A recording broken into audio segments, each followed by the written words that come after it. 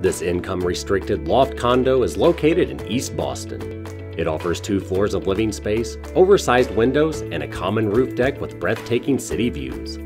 Feel that this is the property for you? Contact Rich Hornblower to see how to make it yours.